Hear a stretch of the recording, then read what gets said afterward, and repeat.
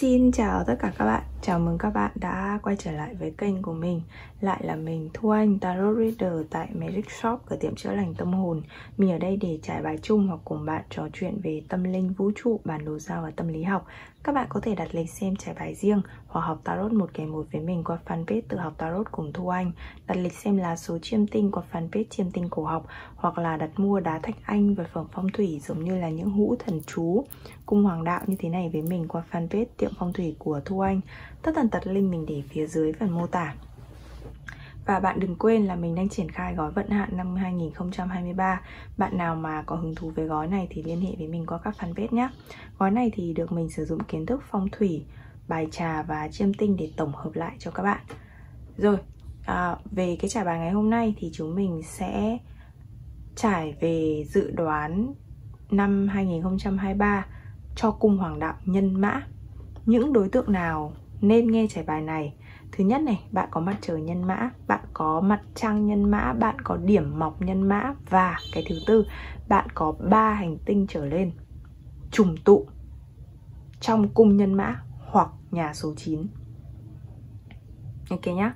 Rồi thì trải bài ngày hôm nay để tăng năng lượng cho trải bài mình sử dụng.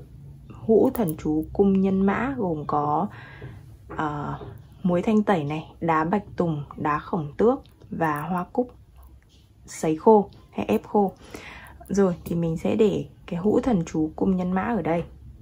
Bạn có thể mua hũ thần chú cung nhân mã trên fanpage tiệm phong thủy của Thu Anh.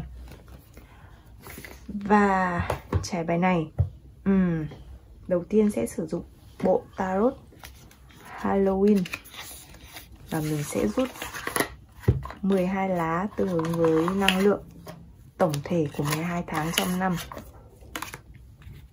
Nhân mã là một trong những cung hoàng đạo mang năng lượng của sự thuần túy, thuần khiết, thanh thuần. Đó là lý do vì sao mà mình sử dụng cái bộ bài nó nó có tính trẻ con, nhìn hình ảnh trẻ con một chút. Và mình sử dụng nến trắng Vì mình muốn cảm nhận cái năng lượng thanh thuần của nhân mã. Rồi, nhân mã và cự giải, hai cung hoàng đạo mang năng lượng thanh thuần nhất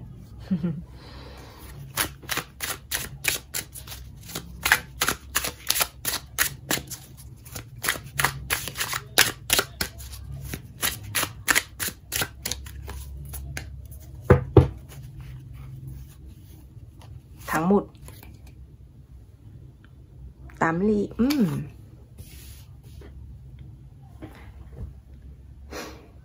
mình sẽ rút thêm tháng 2 đã. Vua gậy wow.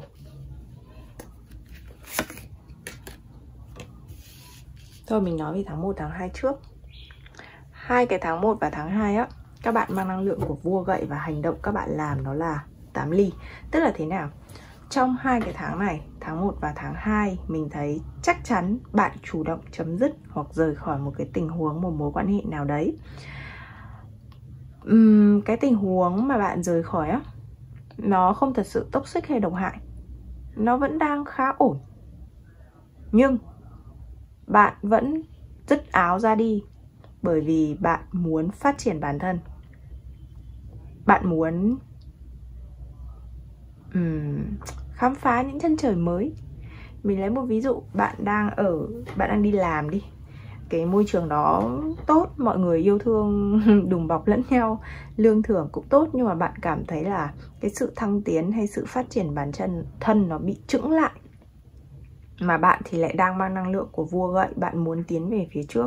Bạn có tham vọng, bạn có nhiệt huyết, nhưng cái môi trường, cái tình huống, cái mối quan hệ đó không đáp ứng đủ cái lửa của bạn tại thời điểm này. Vua gậy Thứ nhất bộ gậy là bộ của lửa. Bản thân cái chức vụ, cái địa vị vua cũng mang năng lượng của lửa. Hai lửa đặt cạnh nhau thì bạn nghĩ nó triệt tiêu à? Không, nó chỉ bùng lửa lên thôi. Cái lửa của vua gậy rất là lớn Là lửa lớn nhất trong 16 lá đầu người. Bởi vì nó là lửa cộng lửa. Mỗi cấp bậc hoàng gia lại có một cái nguyên tố khác nhau. Đấy, Ví dụ như là vua thì là lửa. Nữ hoàng là nước uh, hiệp sĩ là khí và tiểu đồng là đất. Đấy. Thì thế nên là mỗi lá hoàng gia thường sẽ có hai cái năng lượng hai nguyên tố kết hợp. Ừ. thì nhiều lửa như vậy thì cái tình huống mà bạn đang đối mặt nó không đủ để bạn không đủ với cái lửa của bạn thì buộc bạn phải ra đi thôi. Chứ thật sự cái tình huống hiện tại không hề xấu. Cũng tương tự giống chuyện tình cảm có thể cái mối quan hệ bạn bè hoặc tình cảm nó không xấu không tệ nhưng mà không đủ để chứa lửa nhiệt huyết của bạn. Thì ra đi thôi. Và đôi khi cái sự ra đi này khó mà diễn giải được theo logic. Bởi vì lửa hay là cái bộ gậy những người mà trội gậy ấy, trội năng lượng của lửa vốn đâu phải những người có nhiều logic đâu. Thật ra chính ra nhá các bạn nào mà trội lửa là những bạn mà hành động theo bản năng nhất hành động theo cái thôi thúc bên trong.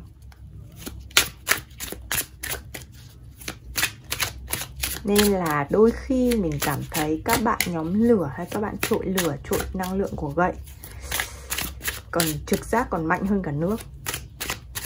Bởi vì các bạn có trực giác các bạn làm luôn. Còn nước đôi khi chỉ là trực giác theo cái kiểu giác quan thứ sáu ấy. Rồi tháng 1, tháng 2 ngay từ ngay từ những cái tháng đầu tiên của năm đã thấy có gì đấy rất là năng động mà. Báo hiệu cả một tháng năng nổ. Ok tháng tư, tháng 3 tháng 4 hiệp sĩ su sức mạnh ừ, năng lượng bình ổn trở lại. Tử thần ok trước khi vào với tử thần mình nói về tháng 3 tháng 4 trước. Uhm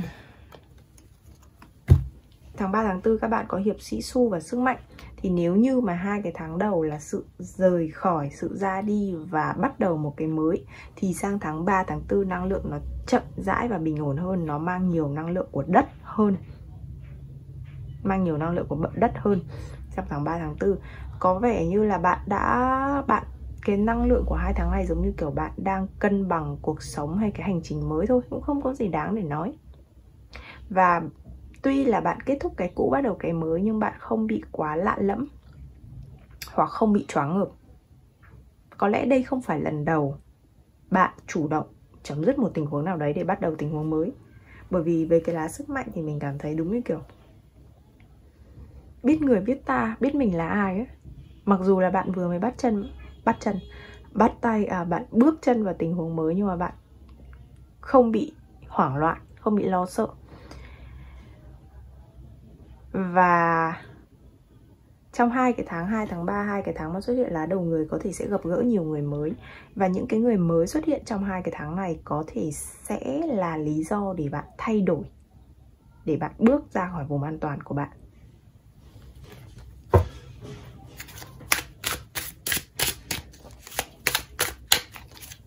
Tháng 5 tử thần.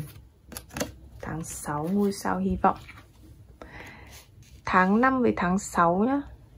Thôi mình giữ nó tháng 7 đi. Ôi giời hiệp sĩ gậy. Ừ. Ừ.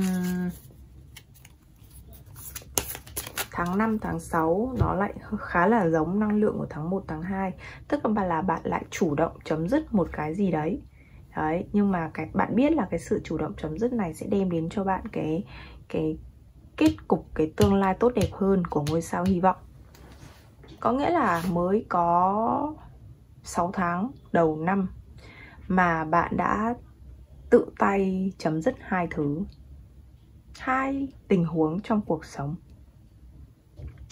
Đều là chủ động và đều là chấm dứt để đến với một cái tương lai, cái kết cục tốt hơn. Đấy, ok.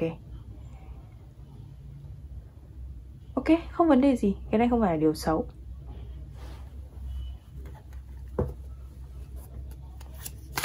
Cái năng lượng này năng lượng của 6 tháng đầu năm khiến cho mình liên tưởng đến uh, giống như việc cái kiểu dạo trong thời gian gần đây trong cái năm này bạn đang sắp xếp lại cuộc sống của mình ấy. bạn đang vứt bỏ đi giống kiểu dọn nhà bạn vứt bỏ đi những thứ không còn dùng đến nữa. Và bởi vì phải như thế thì nhà mới có chỗ trống để bạn mua thứ mới và thứ mới mới là cái thứ bạn cần hơn. Mình đang có cảm giác kiểu như vậy tháng 6 tháng 7 8 đã. Mà năm nay lại xuất hiện rất là nhiều lá đầu người nhá. Tức là năm trong năm nay gặp rất là nhiều người mới. 6 ly Nữ hoàng ly và 6 ly. À, thế thì 6, 7, 8, 9 À nhỉ, 1, 2, 3, 4, 5, 6, 7 Tháng 7 nhá Tháng 7 có hiệp sĩ gậy Thì trong tháng 7 này mình thấy là có lẽ là bạn sẽ đi đi lại nhiều Di chuyển nhiều. Nhưng mà chú ý là Nếu mà bạn đi lại di chuyển Và nếu bạn là cái người cầm lái á Thì cẩn thận đi lại di chuyển Cẩn thận cho mình. Đừng có đi nhanh quá Đừng có bốc đầu Đừng có tạt đầu ô tô. Đấy, ngoài cái chuyện đấy ra thì tháng này phải đi lại di chuyển khá là nhiều. Nhưng mà đi hơi lại di chuyển theo cái kiểu hơi mệt ấy Hơi mệt với hơi nhanh ấy. Giống như kiểu là công tác nhưng mà nó cứ bị sát nhau ấy Bạn vừa mới đi về nghỉ được một buổi chiều xong tối lại lên máy bay đi tiếp. Sẽ có kiểu đi lại di chuyển nhiều, mệt, gấp gáp, gấp rút như thế.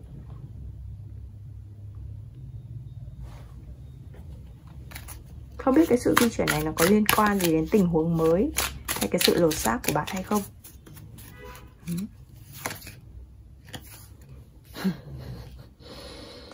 còn Tower nữa mệt quá.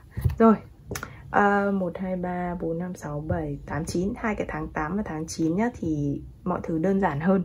Uh, nói chung là năng lượng bình ổn khá là bình ổn trong hai tháng 8 và tháng 9 với Queen Ly, nữ hoàng Ly với 6 ly. Thì bạn dành nhiều thời gian để chăm sóc bản thân cũng như là để củng cố các mối quan hệ trong cuộc sống mối quan hệ có sẵn hoặc mối quan hệ mới gia đình, người yêu, bạn bè. Nhìn chung là tốt không vấn đề gì. Và nhớ cho mình là 6 tháng 7 tháng 8 hai cái tháng này lại xuất hiện hai cái lá đầu người đứng cạnh nhau á thì cũng giống như tháng 2 tháng 3 23 và 78 là 4 tháng mà bạn gặp nhiều người mới nhất hoặc là cuộc sống của bạn vây quanh bởi nhiều người nhất. Hơn các tháng còn lại. À, rồi xong đó là đến tháng 10 Tower tòa tháp thì chú ý cho mình. À đúng rồi trong tháng 9 với 6 ly thì có thể là sẽ mình thấy là có thể sẽ có một cái cuộc gặp gỡ với người bạn lâu ngày không liên lạc người bạn trong quá khứ. Chỉ là gặp gỡ bạn bè vui vẻ thôi. Đấy. Còn trong tháng 10 thì mình thấy với Tower thì mình không thấy nó là sự kiện mà mình cảm nhận đây là bạn bị bệnh. Bạn sẽ đổ bệnh hoặc bạn sẽ có một cái lần ốm tương đối nặng phải vào bệnh viện trong tháng 10 Có thể là sốt xuất huyết. Kiểu sốt xuất huyết đang yên đang lành nhưng bạn bị nằm bẹt giường mất một tuần, hai tuần. Sụt mất mấy cân. Đấy, sẽ có một cái ốm nặng từ trên trời rơi xuống mà không hẳn là do lỗi của bạn. Đúng không? Bị mũi đốt thì đâu phải do lỗi của mình đâu. Làm thế nào mà mình có thể gọi là tránh mũi đốt cả đời được? Ừ. sẽ có một vấn đề về sức khỏe từ trên trời rơi xuống cũng không phải lỗi của mình.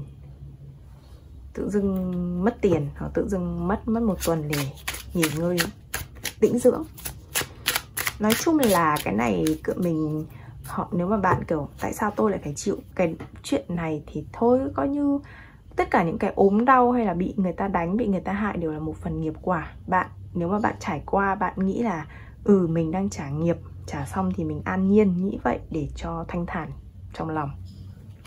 Tháng 10 rồi bây giờ hai, tháng cuối. Tốt 7 xu. 10 7 xu với 10 10 xu. Tháng 11 và 12 là hai cái tháng mà tiền bạc tài chính dư giả dồi dào nhất dành cho các bạn nhân mã. Và mình cảm thấy ở đây trong hai cái tháng 11, 12 á uh, Là hai cái tháng là bạn hái hái quả ngọt.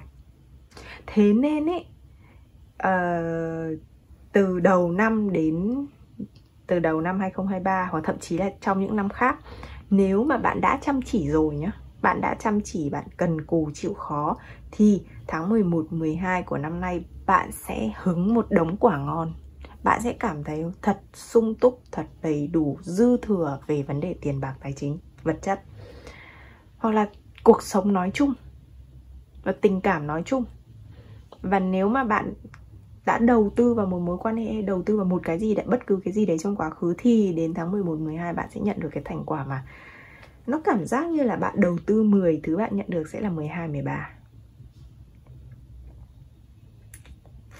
Thế nên mình thấy cái việc bạn dứt áo ra đi hay là cái việc bạn tự tay chấm dứt một cái gì đó để là, để ra khỏi vùng an toàn trong 2 tháng 1 2 và 5 6 nó sẽ được đền đáp xứng đáng vào cuối năm tất cả những gì bạn làm, bạn chăm chỉ cố gắng từ quá khứ vào trong trong năm sẽ được đền đáp rất hậu hĩnh vào cuối năm.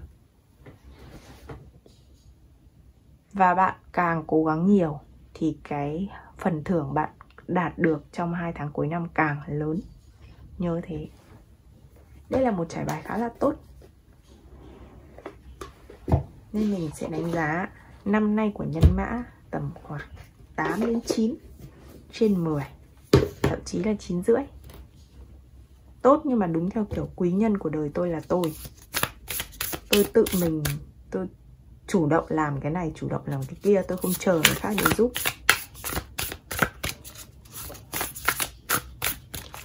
Một lá bài lời khuyên, mặc dù chả biết khuyên gì. Ha ha ha, hạnh phúc.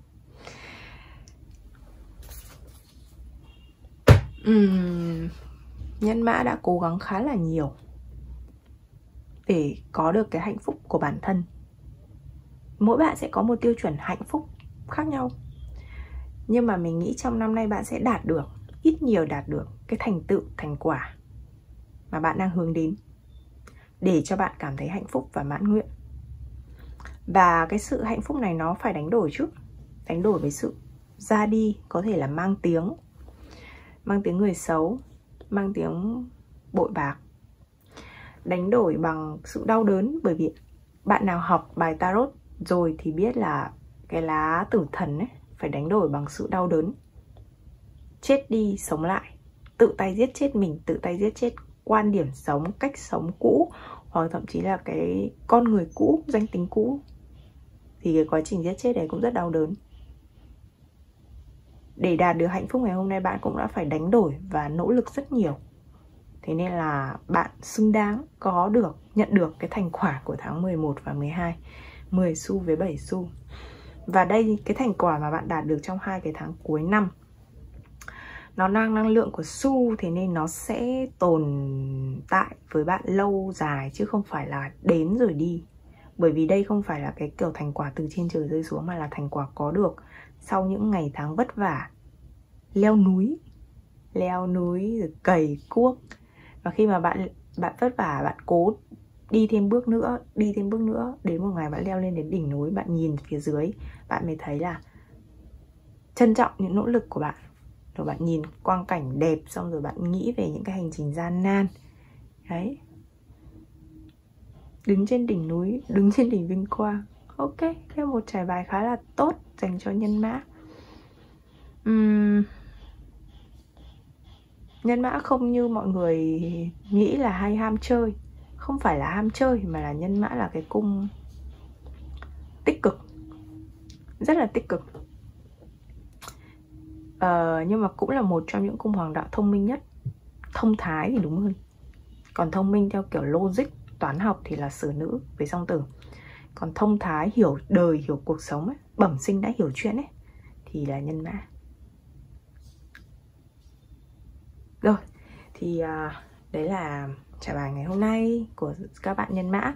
Mình xin phép được dừng trả bài tại đây. Cảm ơn các bạn đã ủng hộ và lắng nghe. Chúc các bạn buổi tối vui vẻ. Đừng quên tiếp tục ủng hộ kênh bằng cách ấn like, theo dõi à, Và bình luận giúp tăng tương tác cho kênh. Và ngoài ra bạn nào hứng thú với gói vận hạn năm 2023 Thì liên hệ với mình qua các fanpage Và đừng quên ủng hộ cả kênh tự học Tarot cùng Thu Anh nữa nhé. Bye bye.